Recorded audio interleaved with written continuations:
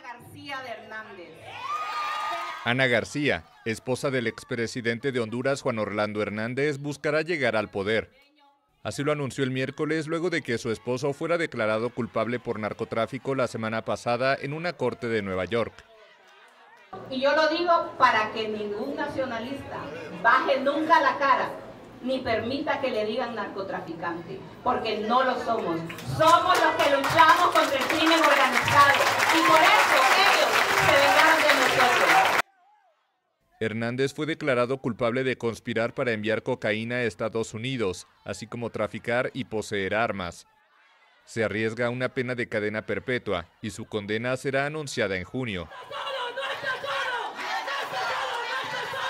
Y me dijo, Ana, decirles que he sido sometido a un juicio tremendamente injusto, que les agradezco infinitamente por sus buenos deseos y también por oraciones.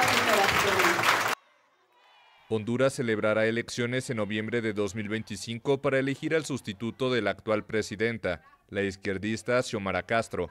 Previamente los partidos deben convocar primarias para escoger a sus candidatos.